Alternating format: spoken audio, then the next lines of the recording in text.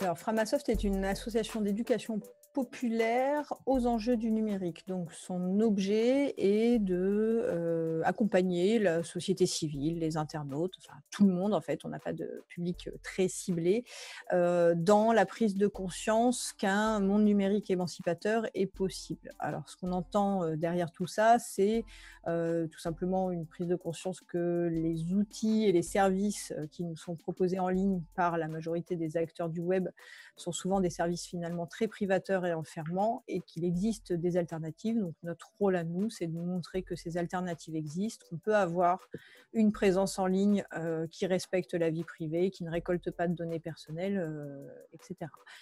La seule différence, effectivement, c'est qu'on n'a pas le pouvoir de diffusion de cette information au niveau de ces géants du web, donc on est euh, forcément beaucoup moins connu bah, que, peuvent être ces, grandes entreprises, ces grandes multinationales.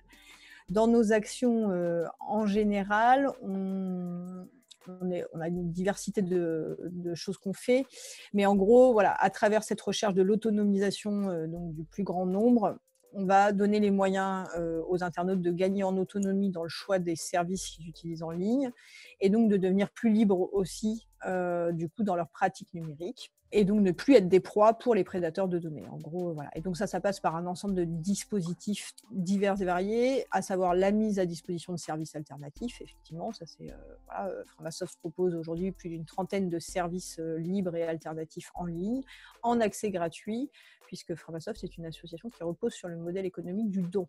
Framasoft fait la diffusion et la promotion du logiciel libre et de la culture libre, puisque pour nous, c'est un socle euh, hyper important qui permet cette liberté.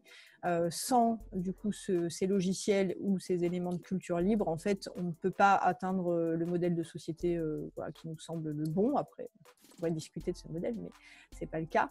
Et ensuite, euh, Framasoft est aussi à l'initiative euh, d'un collectif d'hébergeurs alternatifs qui s'appelle les Chatons, qui regroupe euh, plus, de 70 structures qui proposent elles-mêmes des services alternatifs basés sur du logiciel libre et donc des services bien sûr éthiques, puisqu'il y a une charte pour intégrer ce collectif qui garantit aux utilisateurs de ces structures, du coup, un certain nombre de euh, critères de vie privée, de non-collecte des données, de non-utilisation de la publicité, etc. etc.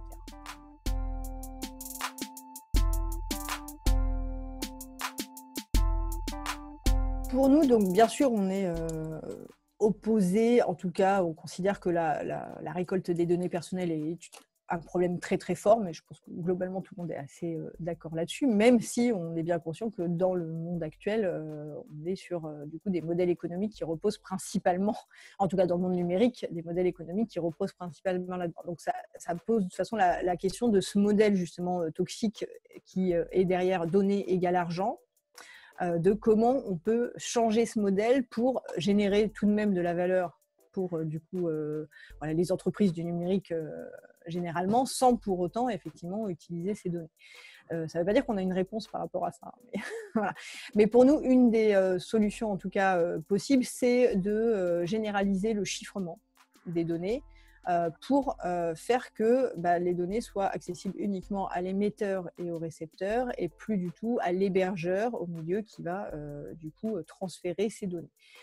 Ça, ce serait du coup un, un droit. Et de façon générale, par rapport aux technologies émergentes, notre problématique aujourd'hui, c'est qu'il y a finalement très très peu d'études d'impact qui ne sont pas faites par les industriels qui sont à l'origine du développement de ces technologies. Et ça, pour nous, c'est un vrai souci, puisque du coup, on considère que ces études sont souvent un peu faussées, puisqu'elles sont euh, commandées euh, par ceux qui ont besoin de vision positive de leur technologie.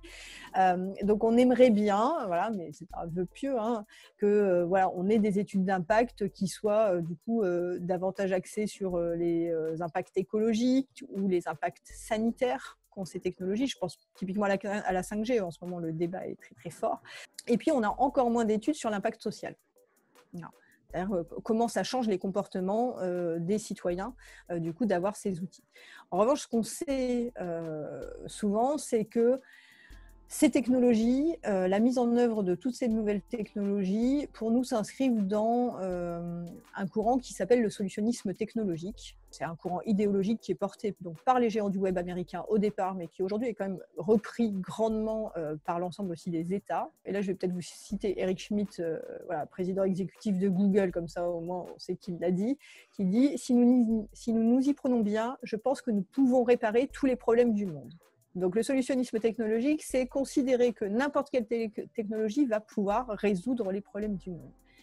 Sauf que, voilà, cette espèce de fascination euh, comme quoi la technologie réglerait tout, finalement, ne prend pas en compte un élément hyper important qui est que ça cherche à résoudre les problèmes sans se poser la question des raisons du problème. Donc on ne revient pas du tout aux raisons, voilà, on ne cherche pas à changer ce qui fait qu'il y a un problème, mais on apporte juste une réponse au problème. Pour le coup, c'est des solutions qui euh, n'ont pas de viabilité à long terme. En fait. Framasoft euh, lutte et diffuse de l'information autour de cette problématique du solutionnisme euh, technologique, puisqu'il impacte énormément les populations. je pense typiquement un tas d'exemples qui vont être peut-être plus parlants, hein, mais euh, le fait d'avoir euh, une omniprésence de technologies numériques dans, euh, dans nos environnements, tels qu'ils soient, voilà, impacte nos comportements. C'est-à-dire que quand vous savez que vous êtes en permanence filmé dans l'espace public, vous n'allez pas vous comporter de la même façon que si vous ne l'êtes pas. Voilà. Ça ne veut pas dire que c'est problématique en soi, mais ça nous impacte et même de manière d'ailleurs sans qu'on en soit vraiment conscient en fait. Et c'est nous notre problématique, elle est là, c'est-à-dire c'est le fait que du coup on, fait changer le comportement des gens alors même qu'eux ne sont pas conscients qu'ils le changent. Toute innovation technologique aujourd'hui est quand même très souvent pensée comme une solution qui va régler les problèmes du monde, ce qui est malheureusement pas souvent le cas.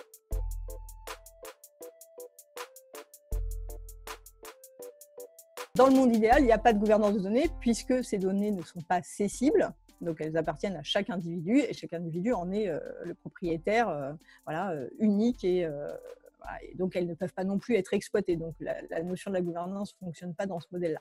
Mais cependant, comme on sait qu'on n'est pas dans un monde idéal, on est quand même conscient que effectivement on pourrait avoir des modèles de gouvernance qui sont davantage respectueuses de la vie privée et qui permettraient, avec des technologies, et j'essaye de ne pas faire du solutionnisme, hein, mais euh, voilà, des technologies qui permettraient en fait de préserver euh, l'intimité numérique euh, des personnes. Et ces technologies, elles existent. Il y a déjà des outils qui fonctionnent autour de ça, qui sont le chiffrement en fait. Voilà, nous, on est vraiment, on essaye de, de porter le fait qu'on puisse chiffrer l'intégralité des données, ce qui fait que quand on chiffre les données, seuls l'émetteur et le récepteur de cette donnée euh, y ont accès. Et donc pas l'intermédiaire qui stocke la donnée sur les serveurs. Et là, ça réglerait énormément de problèmes de gouvernance sur ces données privées, euh, puisque du coup, on n'aurait pas du tout de problématique de euh, vol, pillage de données ou exploitation commerciale de ces données. On préférait quand même que globalement, voilà, les données du coup soient restent